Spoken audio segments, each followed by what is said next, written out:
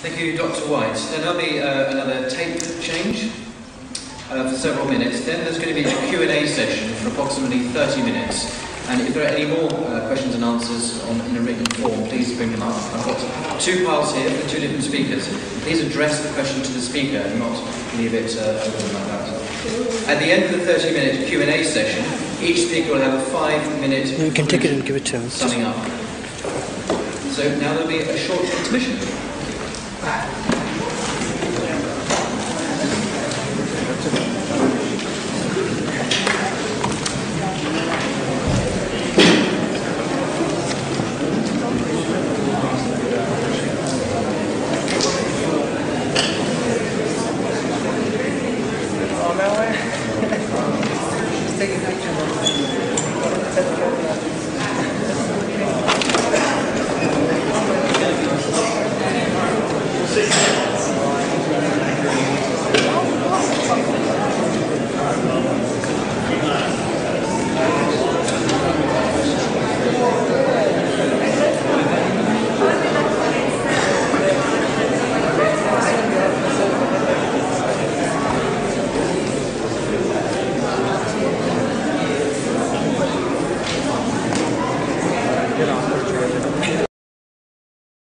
Addressed to one of the speakers. They will have two minutes to respond, and then the other person will have one minute to respond to that. The first question is to James. The question is this Please provide evidence from the Bible where it says that the Holy Ghost is God.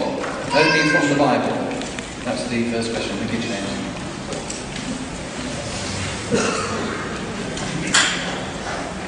Well, very briefly, I, I have written a book called The Forgotten Trinity that addresses all these issues. Uh, if you all would like to uh, obtain that, or I'm not sure what to do with this, brother, but uh, your microphone just fell off of the thing. So, um, do you want to start this all over again? I'm sorry. Resetting time.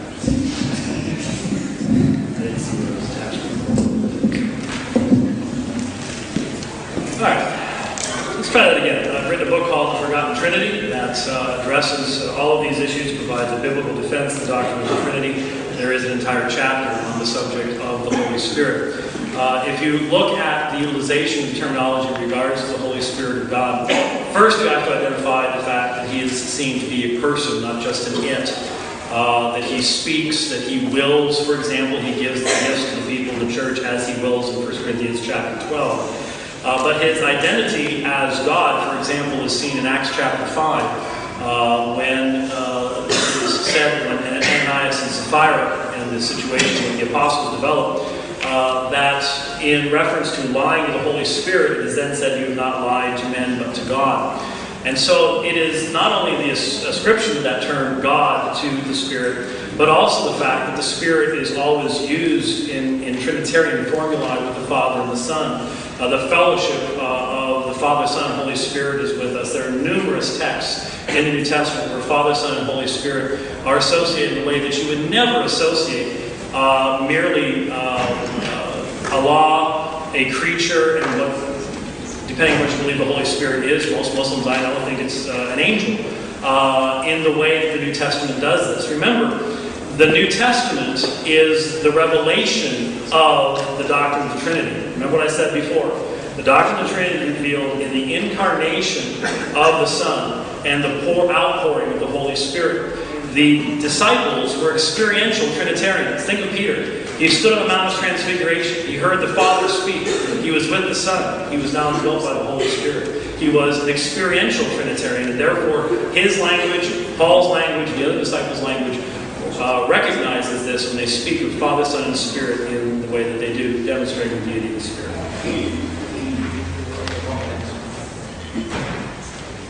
Bismillah. Um, Dr. James White obviously didn't address the question why, where is the passage in the Bible which tells us the Holy Spirit is God? I'll give you the passage which the Christians generally use. I'll help Dr. James White. Matthew 28 19. Go ye therefore and teach all nations, baptizing them in the name of the Father and of the Son and of the Holy Spirit. Because three persons are mentioned in this verse, the Christians assume the Holy Spirit is also God.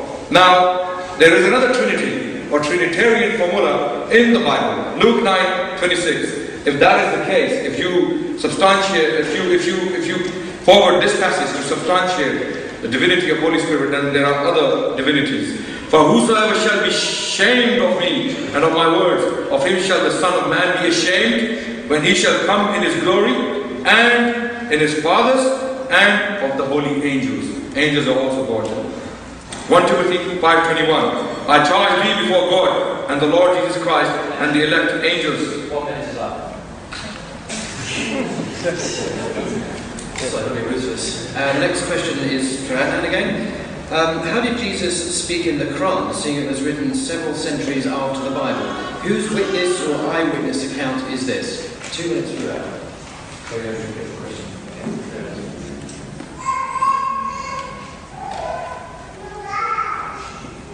Can't read this I'll repeat to everyone in case I wasn't clear. How did Jesus speak in the Quran? Because Jesus was, was quoted as speaking in the Quran. Seeing the Quran was written several centuries after the New Testament, the Bible. The question then, question then asks, whose witness or eyewitness account is this? Two. Okay, Bismillah. Ladies and gentlemen, question is, uh, the questioner asked, how did Jesus speak in the Quran? It's simple, it's a revelation from God. God is telling us what Jesus said. Jesus said, O people of Israel, worship one God, my God and your God. So Quran is simply telling us that Jesus said that in the past. In 33 CE, when he disappeared, or just before that, in his ministry, these are the words he uttered. And we believe as Muslims the Quran is the word of God based upon solid evidence. Uh, we have other reasons to believe um, that Quran is definitely the word of God because of historical accuracy. Um, prophecies are fulfilled. So for this reason, whatever the Quran tells us, we believe it to be true. And Quran is simply telling us that Jesus spoke. And he said this, and the Quran also tells us that in future, on the day of judgment, Allah will ask Jesus, God Almighty will ask Jesus, did you tell these people, or your tribe, or your nation, to take me and my mother as gods, or deities, or to be worshipped beside or instead of Allah? So I say again, the word Trinity is not mentioned in this verse. Dr. James White, you worship Jesus as God. You wouldn't deny that. Catholics worship Mary as a divine person. And the Council of Chalcedon in 451, um, Mary was given the title of Theotokos. I don't know whether you agree with that or not, but you did write an article on your uh, website on the definition of Chalcedon. If you accept some part of Chalcedon and reject the other, why? Would you like to address that? One minute. Very, very quickly, uh, the Roman Catholic Church does not worship Mary as a deity. Uh, my criticism of the Roman Catholic Church has been the fact that they differentiate between latria and dulia. I do not believe that is a biblical definition, uh, distinction. Uh, in answer to the question, there are only 25 ayah in the Quran uh, that mention the name Isa. Uh, it has been well said uh, by a liberal Muslim that the Jesus of the Quran is an argument, not a person. Only once does the Jesus of the Quran speak in an identifiable historical context, that is from the cradle. That was borrowed from a second century proto-Gnostic gospel. Uh, there simply is no historical foundation. Interesting, that proto-Gnostic gospel actually had Jesus saying, I am the Son of God. But there simply is no historical foundation to the words that are placed in Jesus' mouth by the Quran. There is no evidence uh, that goes between 600 and the time of Christ that he ever said those words. You simply have to believe them, well, because you begin with the belief in the Quran.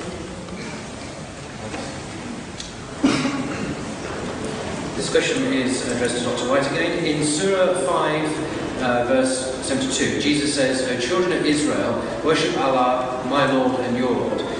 Jesus uses similar words in the Bible in John 20, 17. I go to my Father and your Father, my God and your God. And the question is, does God, Jesus in brackets, have a God? Two minutes. John chapter 1, verse 14 says that the Word, which has been described in the preceding verses as eternal and the creator of all things, became flesh in the person of Jesus Christ. let me please ask my Muslim friends to think for just a moment.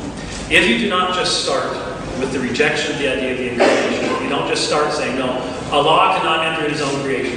Why? That's a question only you can answer. If you don't start with that, let me ask you a question. If Allah entered into his own creation, would he be an atheist? Would the incarnate one be an atheist? Or would he not be the perfect human being? And what would the perfect human being like? What would he be like? Would he acknowledge the Father? It's not the Father who became incarnate. It's not the Spirit who became incarnate. It's the Son. Would, would he not pray? There's been perfect communion between the Father and the Son throughout eternity. Would that just stop? Would he not worship? Obviously, if the second person of the triune Godhead entered into human flesh, he is going to be the perfect worshiper. He is going to acknowledge the Father. He is going to be a monotheist. He is going to pray. He is going to be all the things that we should be because he also becomes our example. So, yes, Jesus is the God man. To this day, he continues to be the God man. He didn't just get rid of his body someplace. His resurrection is the great hope that we as believers have that we will be resurrected. And that's a true resurrection. And so he is the God man. And as such, as the God man, he worshiped God. He acknowledged the Father. No question about that. We still have to deal with the fact that he and his followers identified him as Yahweh. That is the issue.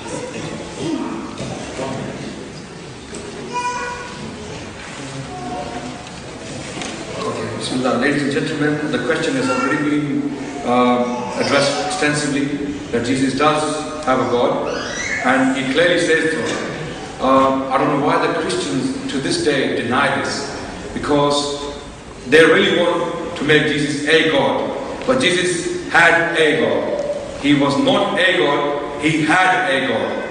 And the verses are very clear. John 17, 1 to 3, where he clearly says, the Father is the only true God. In John 4:21, he states that the Jews are of the salvation, or the salvation is of the Jews because they worship the Father in spirit. That is the reason for their salvation. Jesus gave the clear reason. So what more do you need? In John 8:54, Jesus said that Father is the law God of the Jews. And then when 12:29, a scribe comes to him, asks him about the commandment. Sorry, my time is over. Five seconds? Next question is for Adnan again. The Mutazilites were declared heretical for believing that the Quran is not eternal, but the Quran itself claims to be eternal, since it is understood as eternal tablets. Aren't you committing shirk by believing in two eternal entities, Allah and the Quran, or eternal tablets? That is a very good question. Um, whoever asked this question. Um, the, the question is, the Mu'tazila believe the Quran is a creation, makhluk. Uh, guess what, ladies and gentlemen? Mu'tazila were wrong. Because the Islamic doctrine of Quran is the Quran is the word of God. So was Jesus. What does Quran mean by this? In chapter 2, verse number 116, Allah says, when Allah wants something to be, He says, Kun yakun. He says, be, and it is. Likewise, in chapter 3, verse 59, God says, God Almighty in the Quran, He says, the similitude of Jesus is like that of Adam. When He wanted him to be, He said, be, and Jesus was. So Jesus was a word of God in this sense, and Quran is the word of God. In God in this sense, Quran existed uh, with God, not as a separate uh, um, entity, but the Quran is the knowledge of God. So we believe God was not ignorant at one time and he gained knowledge later on. God was knowledgeable from the day he existed, existed and God is eternal. So is his knowledge. So Quran is the knowledge of God. And uh, the, the Mushaf, the book we have, Quran, is the manifestation of that knowledge. So we're simply saying that God, God's knowledge is eternal with him. God is not ignorant at one time and he becomes learned the other. So that is the point, and that's why Mu'tazila were wrong. Thank you very much.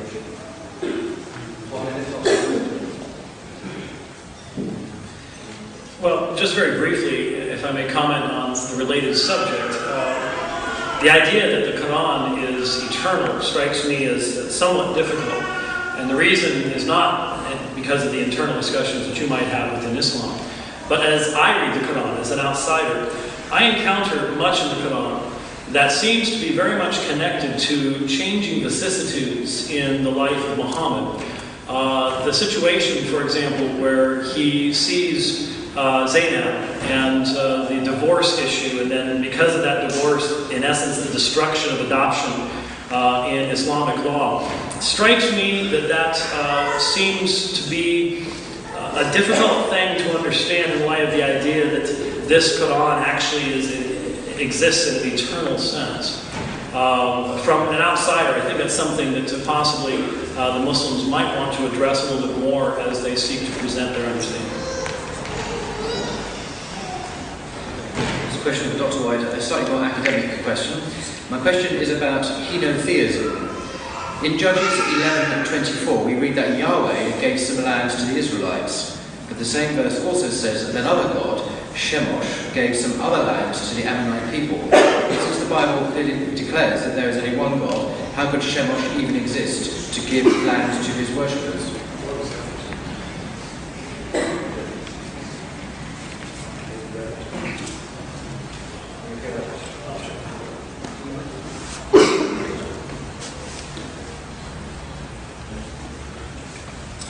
Judges chapter 11, verse 24 Will you not possess what Chemosh, your God, gives you to possess, and all that the Lord our God has dispossessed before us, we will possess? Obviously, this is in, in making reference to the pagan gods around the nation of Israel. And the Bible recognizes the existence of pagan gods, not that they have a real existence. Psalm 96.5 says, All the gods of the peoples are idols, but Yahweh made the heavens. Uh, the constant uh, danger to the people of Israel was to engage in uh, henotheism, the acknowledgement of one primary God, the acknowledgement of lesser gods, and idolatry. We know that God brought judgment against the people of Israel over and over and over again for doing exactly that, uh, for mixing the worship of Yahweh uh, with the worship of these other gods. We need to realize that. Uh, and I think the Muslims understand this. The Jewish claim in the Old Testament was a radical thing. The people around whom they lived believed in, in essence, local deities. Well, our God makes our crops grow, and your God can make your crops grow. Our God basically is only worried about this particular valley. Uh, and that was the viewpoint of people in that day. The Jews were seen as, as hateful individuals because they came along and said, No, our God is the only God. In fact, your God doesn't exist. And people didn't appreciate that. That was not overly politically correct then. Same thing that the Christians did uh, in saying to the very religious Romans and Greeks, uh, you may have all your gods, but they don't exist. Only our God exists, and we will not worship Caesar as Lord. We will not say, we will not offer a pinch of incense and say Kaiser Kurios. We will only say Jesus Kurios, Jesus is Lord. And so while, while that emphasis upon monotheism is there, even Apostle Paul says there are many so-called gods and lords out there, but for us there is but one God, and he describes that one God to the Corinthians. And so, uh, uh, yeah, that's a portion of that.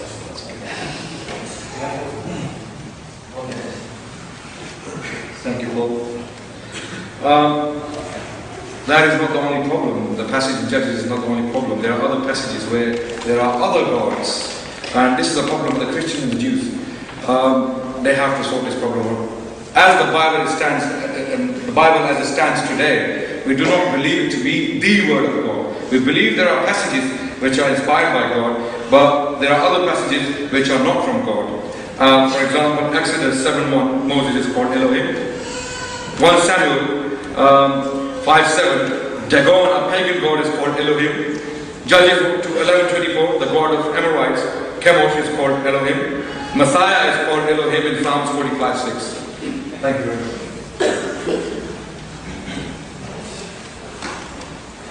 Adnan. What does the Holy Quran mean when it says that Jesus was the Word of God, the Kalamat Allah, and the Spirit coming out of him?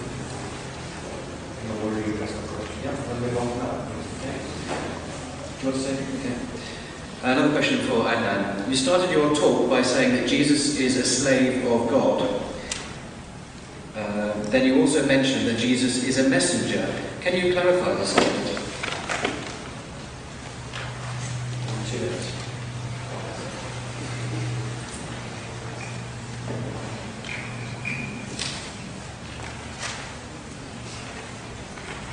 Jesus is not only a slave of God in Islam, Jesus is also a slave or a servant of God in the Bible too. Acts 3.13, the God of Abraham and Isaac and of Jacob, the God of our fathers glorified his servant Jesus. That is book of Acts.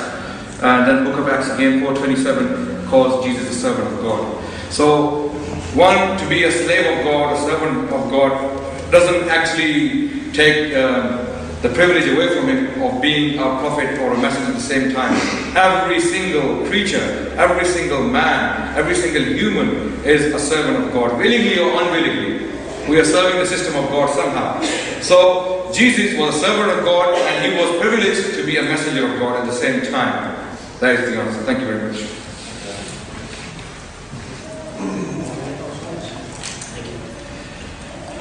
Jesus is indeed the servant of God. He's called the suffering servant. He is high priest. He's king. There are many titles that are used of him. But interestingly enough, may I ask my Muslim friends, can a mere prophet have servants, those who serve him in the religious sense? Jesus says he has servants. When he stands before Pilate, he points out that if he were but to, uh, if, he, if his kingdom was of this world, his servants would be fighting. He could call a whole legion of angels. Those legions of angels serve him. He's called the Son of Man who comes upon the clouds of heaven. And that Son of Man likewise has those who worship him as servants. I am the servant of Jesus Christ by his grace and only by his grace. Were it not for his grace changing my heart, I would not bow the knee before him. But I am thankful to be his servant and his slave uh, because he has redeemed me.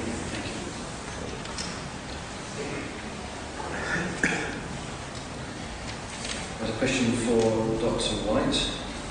Please comment on the Unitarian Christians at the earlier stages of Christian history and who called them heretics and who gave them authority to call them heretics. There's three questions.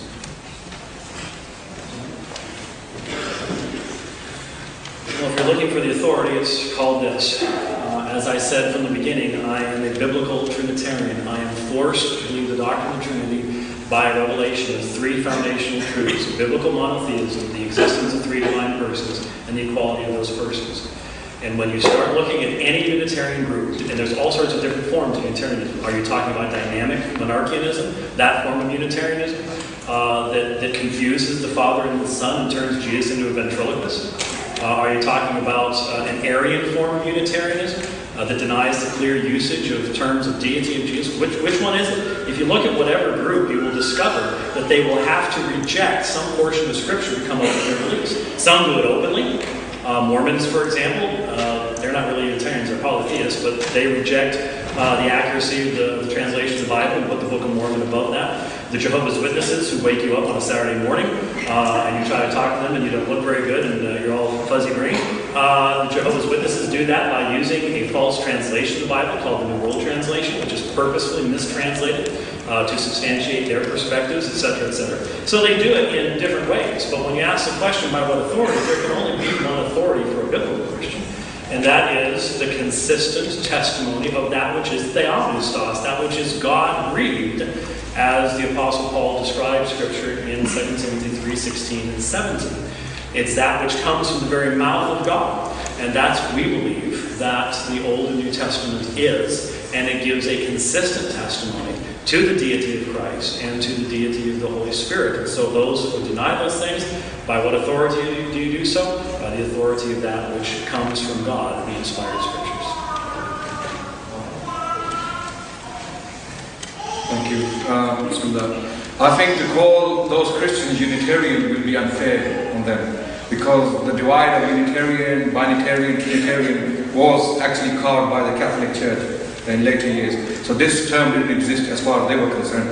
Ebionites is a group um, which is mentioned by Eusebius in his church history, who believed that Christ is a messenger of God. He's a man born, um, born uh, miraculously. He had a virtue. And uh, Paul, Apostle Paul, is an apostate from law. And these Jews who were Christians, they believed in one God and they uh, followed the law of Moses, the Jewish law, um, and um, they, were against any idea of God existing, uh, of being of God uh, with three persons in it. Uh, they were simply believing in one God, and it is unfair to call them Unitarian. They just believed in one God. That's how it was. Thank you.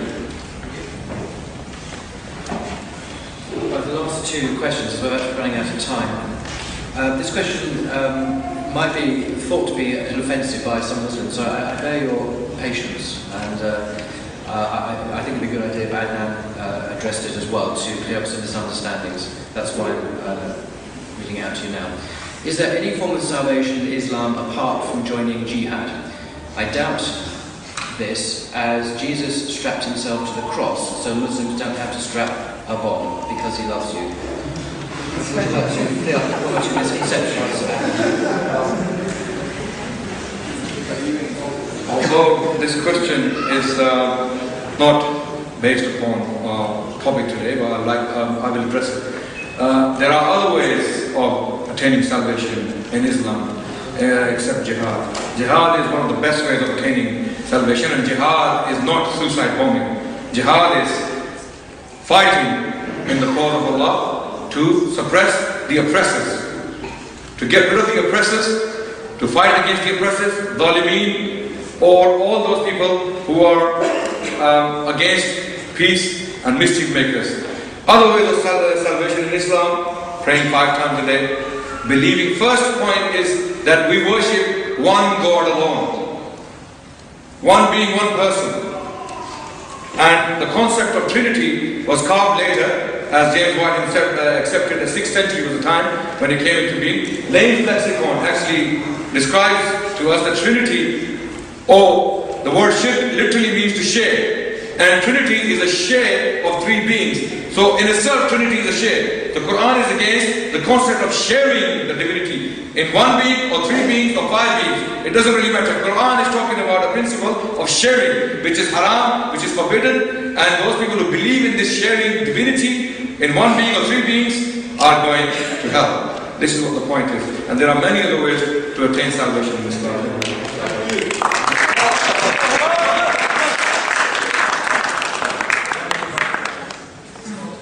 For the third time, I have never said, never intimated, or suggested that the doctrine of Trinity developed in the 6th century.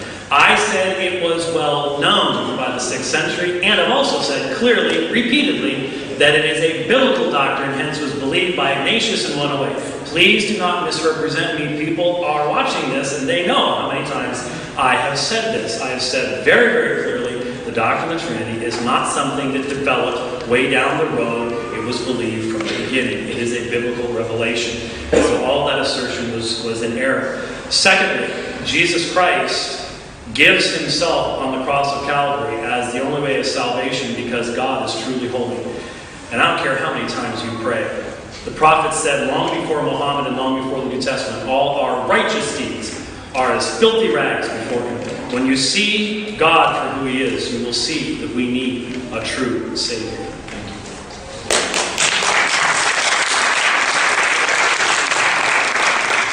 Right, time is pressing, that will conclude the Q&A. We now have the uh, five-minute conclusions for each speaker. I invite Adnan to give his five-minute conclusion first, and then Dr. White. Thank you.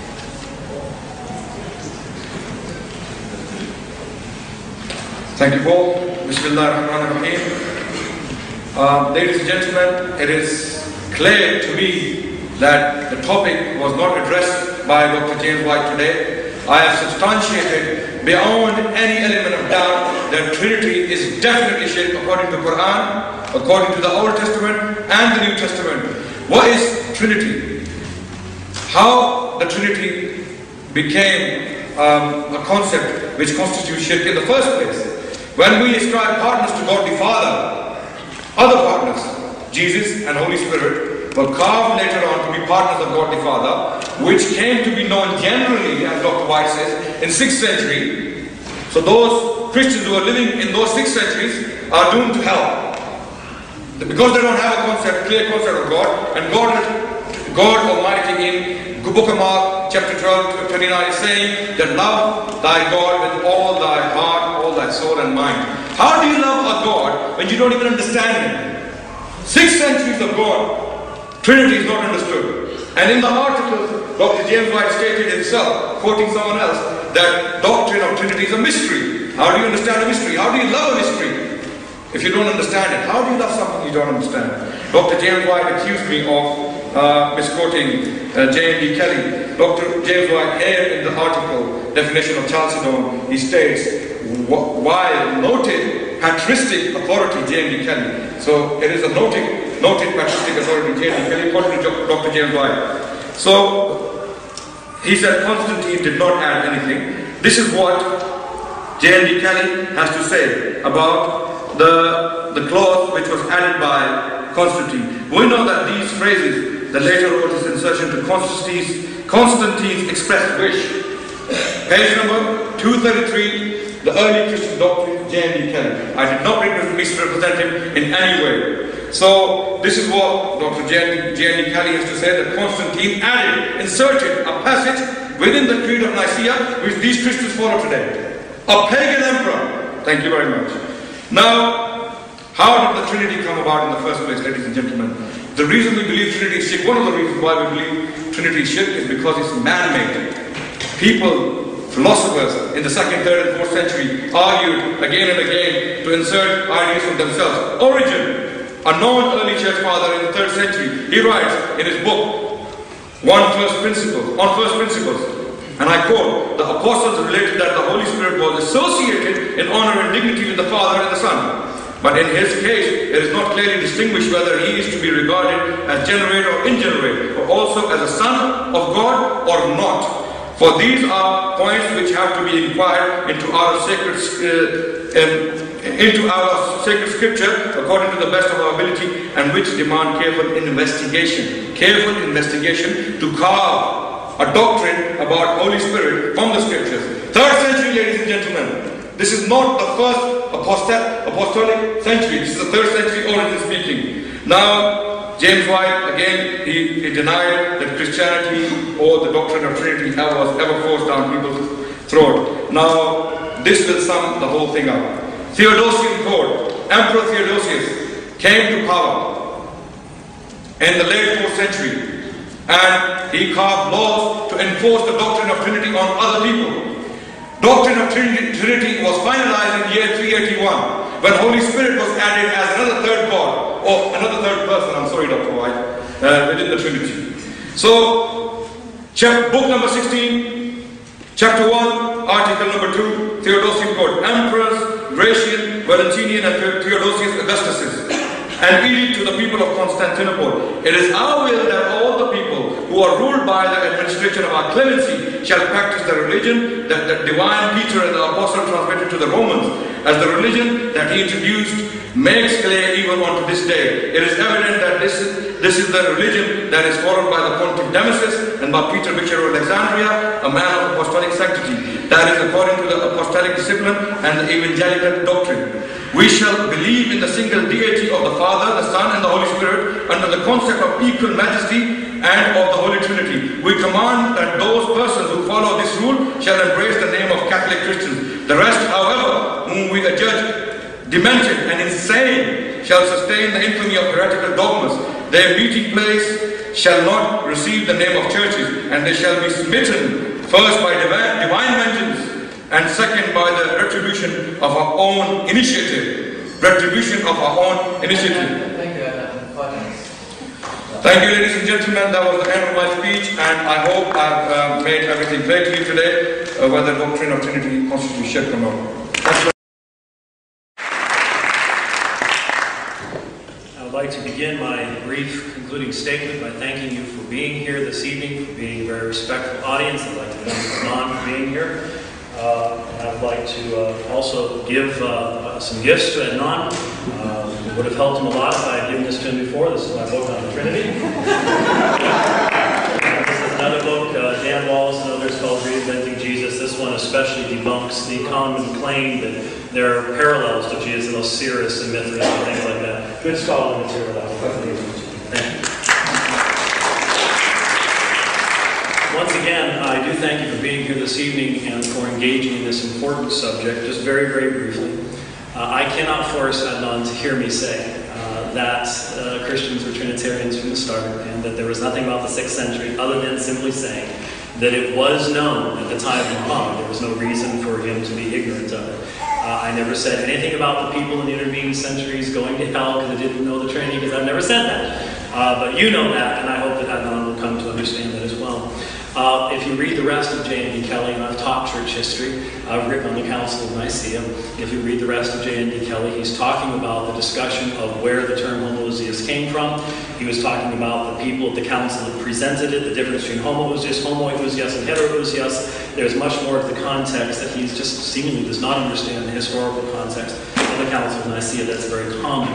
Uh, and I'm saying he's misread him, not misquoted him. Those are two different things. Uh, finally, there is the assertion of Theodosius, who is the one that makes the Christian religion the religion of the Roman Empire. Once again, the doctrine of the Trinity had been known in medieval worship uh, for many centuries before Theodosius did that. I don't remember ever saying anything about the issue of the Roman uh, Catholic uh, Church and when it began, or Rome, or any of the rest of those things. So I don't think any of that was really relevant to what I was saying whatsoever. What I have said this evening, and Adnan is very quick to proclaim himself the, the winner. Uh, I leave that to you. Is the doctrine of the Trinity accurately defined in the pages of the Quran? I have presented the doctrine of the Trinity to you. You don't even have to believe it. You can still understand it. He just raised the, the word mystery. Where did I use it? Where did I ever say it? He ascribed it to me. I never said it.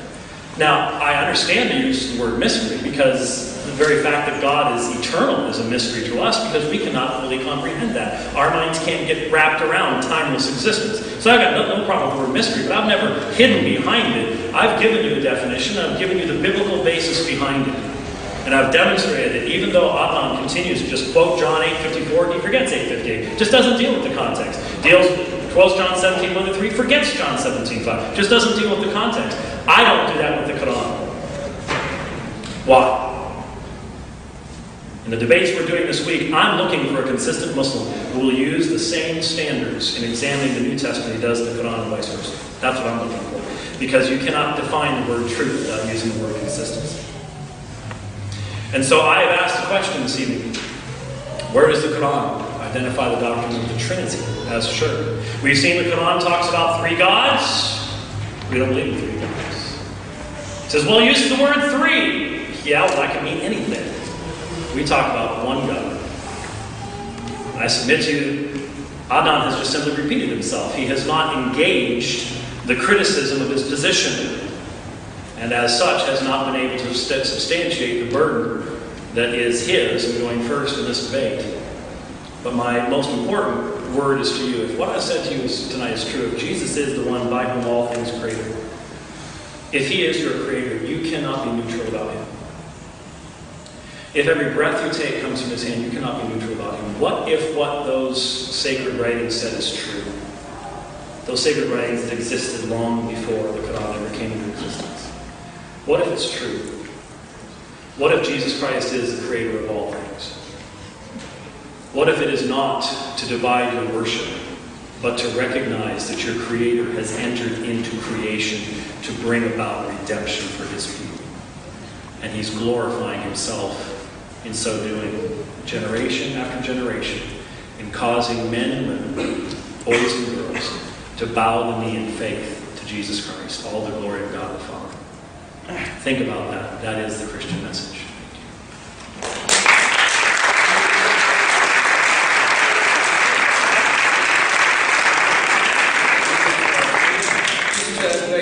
Thank you both for your very gentlemanly and erudite debate. Um, just uh, some other few quick points. Uh, apparently you've been given questionnaires. Uh, they can be uh, deposited in some collection points towards the exit. And also, we've been asked to talk about donations to the funding of this evening's event. They likewise can be given as you go out of the church this evening.